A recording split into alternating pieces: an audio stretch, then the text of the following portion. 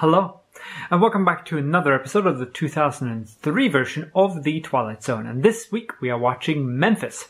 And Memphis starts off with just a line, there's no face, and I immediately knew that this was Don S. Davis. Now, he has the best voice, and he is great, even though his part is really, really tiny. Of course, he was the uh, general on SG1, and he did. He had a long career. He did great, and he he's great in this too. Then we have uh, Eric LaSalle, who also directed the episode, um, playing Ray, and he was one of the regulars on ER. So he's been on TV a lot. Also long career. And he gets told that the cancer treatment that can actually help him would run to $200,000. Now, today, an experimental treatment will run you in excess of a million dollars. Um, but that is also the US where you have no health insurance to speak of, and it's it's just bonkers. Um, a friend of mine went through cancer treatment and paid thirty bucks for it, pretty much, which is a bit better because you know then you're not also bankrupt uh, while you're suffering from cancer. So good for them.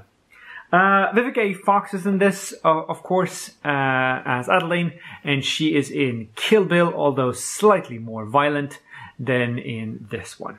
Now, uh, I'm going to unfortunately butcher this name, but uh, Dr. King, who is here, who gets shot off camera, uh, which makes sense, you know, that's not something you would want to show on TV. But you have this lovely crosshair thing going on, which is very scary. Uh, played by a Fusu uh, Utomaji, I think. And he is he is primarily a stunt double, a stunt person, and he does stunt a lot of stunts, like a lot of stunts. Uh, his his stunt list is huge, and then actors like six credits. So very prolific stuntman. And now he gets to play Doctor King, which is great. Um, I love seeing that. He doesn't get to save Dr. King, but he does get to save himself, which reminds me a bit about the 100 feet, 300 feet, 100 feet over the rim. I remember in the 60s, uh, wandering back into the past to to save, to work out the cure for a disease. It's, it's the whole thing of, of you causing the shift that you need to.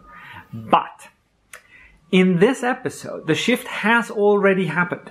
The, the past is already set because this neurologist is that already exists. Lucas is already Dr. Lucas, essentially. And so he, he, he's already set on this path. He cannot avoid it, I would guess. Now, next week, we're going to take a pill. It's going to do nothing, and I look forward to seeing you then. Take care now. Bye.